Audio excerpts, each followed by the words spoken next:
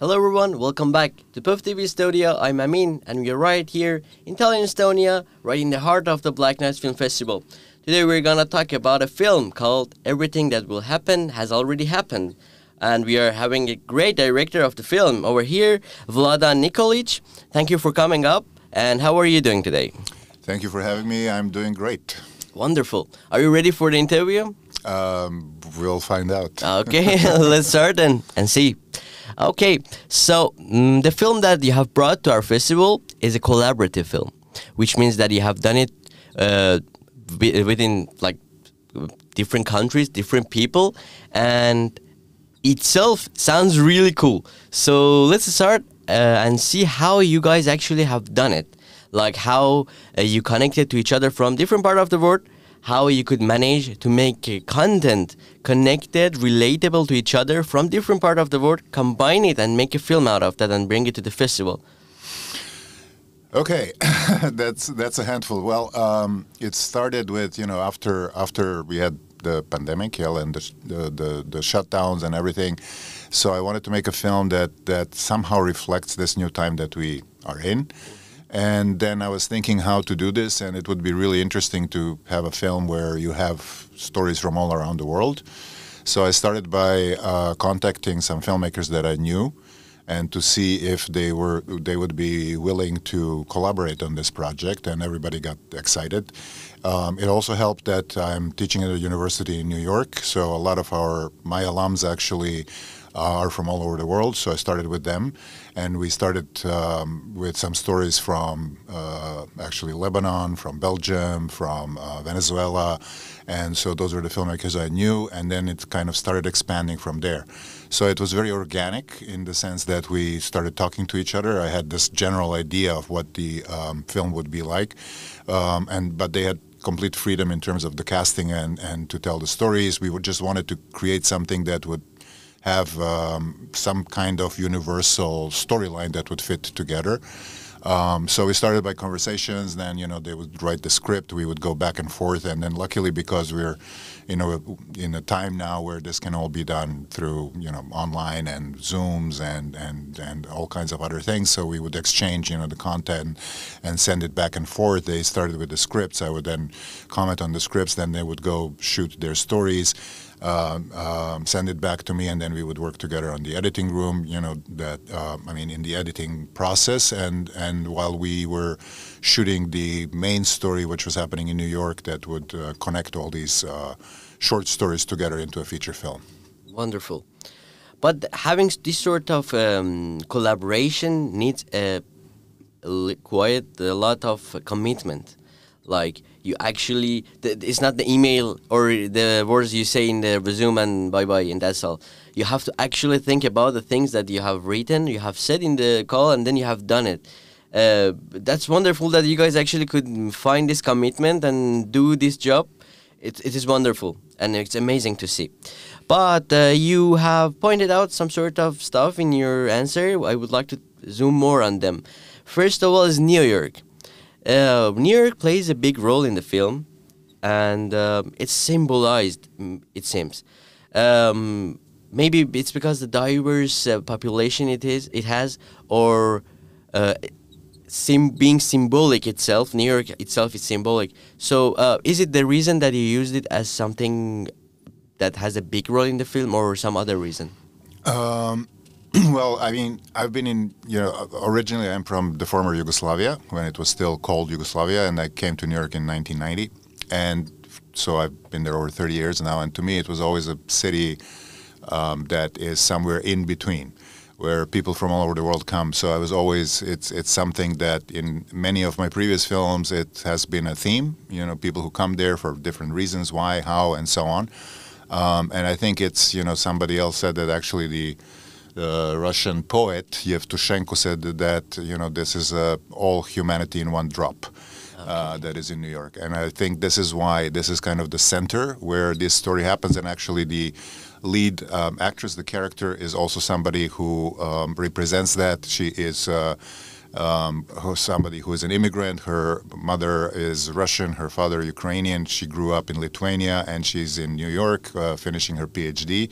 And these stories are actually uh, part of the of uh, her dissertation, which is collecting together. So that's kind of what the uh, main story is. And then she meets somebody who is a very unusual character who is actually a New Yorker, um, but he is uh, somebody who has a very um, very unique uh, mindset, and so there is a certain story between the two of them as they, you know, collect these stories, and you know, kind of there is a romance that happens between these two characters uh, in the middle of this. So it's kind of, I think.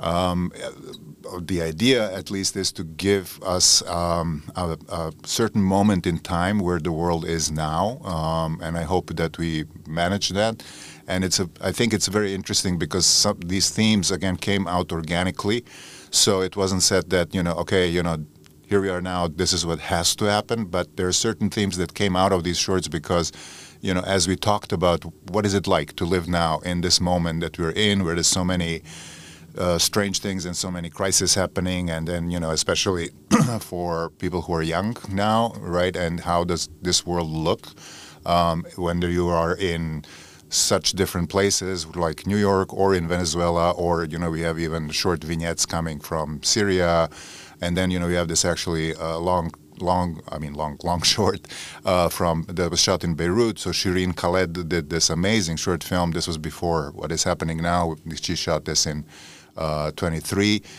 But she shot this over. She was directing over Zoom, um, actually, with some very famous Lebanese actors and uh, a crew of like 30 people. Um, and again, all of this we did on, on almost no budget. So it's really a, a, testament to the passion and to the incredible commitment of all the filmmakers without whom this film would, would not have happened. Great, wonderful. You're bringing great, great points that I would like to ask. So, great job. So, uh, but uh, first of all, let's uh, look around the content of the film and see what is happening over there. So, um, the film talking about so many problems from Corona pandemic to the economy inequality, then goes to war, then goes back to some other problems.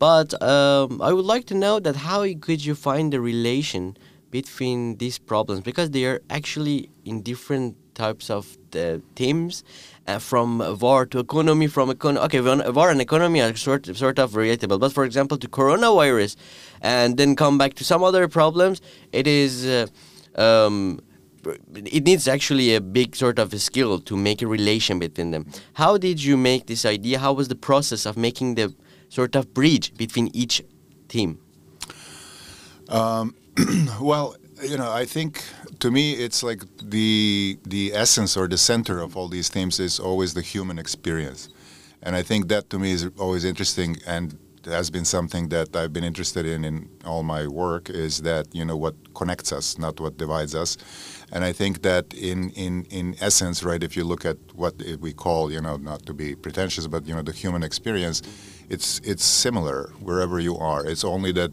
you know, sometimes these things happen um, that people are, you know, forced to deal with certain circumstances, right? That then they that brings up um, some parts in their character or you know the struggles that they they have to confront. You know, so um, it's just that now I think you know personally, and this is what, what what was kind of the starting point of the film, because I think when you know we had the shutdown, right, the lockdown during Corona, and that was I think such a moment that was unprecedented, at least in our lifetimes, that all of a sudden the whole world stood still. Um, and this kind of, you know, and then when it started moving, it feels like everybody wanted to forget that this even happened. And I thought, well, this is so strange, right? Because we shouldn't forget it. You know, it's not we shouldn't be traumatized by it, but but you know, it kind of I think opened up the door to really see like, well, there's so much wrong, right? That's happening now, and we can't really think about that, oh, somebody like all these whatever political structures on is going to solve that because we saw that this is not going to happen. So then when you zero down on the on the on the individual level, right? How do people deal with these circumstances? How do they live, etc. Um, and I think that you know, there's from these stories, what came out was that it's really a lot of um, I, I like to believe, and I hope that you know people who see this film will confirm this that it really brought out that aspect of the connected, the shared humanity. So that in the end of the day, the film is not depressing, but it actually brings up a certain level of hope uh, to all of us. Okay. Oh, that was a brief, actually, explanation. Nice one. Thank you. Thank you. All right. So uh, let's talk about the budget. I know, and everybody knows that making a film needs a lot of money, and this is the truth that everyone should believe it actually. But uh, you guys have done a great job with a little and a low sort of budget, and uh, with basically so many crew, eight just directors. Okay, you are the main director as we know, but we have s- uh, seven more to go, and they are educators as well. We have cast, crew, and uh, how could you actually manage with a little bit of budget in a big city like New York, and also some other part of the world? Uh, how could you manage to wrap the project up in a standard way of the quality? Okay, now for that to answer this fully, we could have an hour-long interview. Sure. to give you the short version. Yeah. Um, so you know, I've been doing low-budget films for a long time. Actually, I, I was at PÖFF uh, with another film ten years ago called Allure, which we also did uh, on a very low budget. And um, the way I approach this, I mean, for one, I've been making films for a long time, so um, I have a, a lot of people who I've worked with, and because we had fun doing it together and we believe in each other and i always treat everybody as equal collaborators so it's not like oh yeah i'm the director and you work but it's like we're all working on this together. So the question always is like you know when i approach uh, filmmakers and others well you know this is the project this is the budgets it's ridiculous but i think it's going to be an interesting project if you have the time and the energy and you want to be part of this you know then we can do this together and I think what happened this time again was that you know a lot of those the, the people who participated just liked to and wanted to say something you know about this moment and to have this freedom you know because the one thing low budget and no budget films you know are you know re- there are many restrictions and you have to work with you know a lot of creativity. But the one thing that's great about them is they also give you freedom because you don't have you know certain things when you work with bigger budgets and you know uh, big name actors, you know, especially in, in the U.S. Um, then there are certain things you have to do or you can't do, etc. But in this case, you know, you have the the total freedom to really uh, approach the subject the way you want it to. So, so that was kind of how we started. And to, be honest, you know, again, we thought we are going to shoot with you know, small cameras. Again, the nice thing is about the digital technology. It allows you to really produce uh, amazing quality on, on you know, with, with relatively low means, with small means. But you know, again, then some people I worked with before. Uh, they really liked the project and they brought in so we shot with you know at the end we had like three red cameras and a 30 man crew and you know uh, it really looked like a big production um, which is great you know because and it was really again just because of the enthusiasm and the passion of the people involved so you know without them this film wouldn't exist at all Exactly. Amazing. Amazing. All right. For the last question, before wrapping up, I would like to ask this question that uh, this is sort of uh, prominent question that I ask from directors because I really want to know their answers about uh, what they made. So, um, if you would like, if you would have the time and this possibility to go back in time, uh, what would you uh, remove or add to your film, or you wouldn't even touch it? That's a great question, actually. Um, you know, that's, I mean, I don't think I can really uh, honestly answer that I would uh, change it because this, at least for this film, it's something that came about so, you know, uh, organically. Um, that I don't think that it could have been done differently. You know, if it was something that you know it was you know fully scripted, planned, and everything, and we were just executing in the production, and then oh, this scene maybe didn't turn out the way um, it was scripted and so on. But in this case, really, I, I don't think I would change anything. You know, in in the sense that it really, I think, became um, a, a, something that is an expression of all these people and all these places that got involved in this project. So I'm very happy with the way it came out. That's interesting that most of the directors actually having the same answer, and it's surprising for me. Like they they are they're good with what they have actually done. That's nice. All right, thank you so much for coming out. It was wonderful and it was such a pleasure to talk with you. And great job. Thank you so Thank you. much. Thank you. And once again, thank you so much for watching us. As always, I'm telling you, go check out our social media.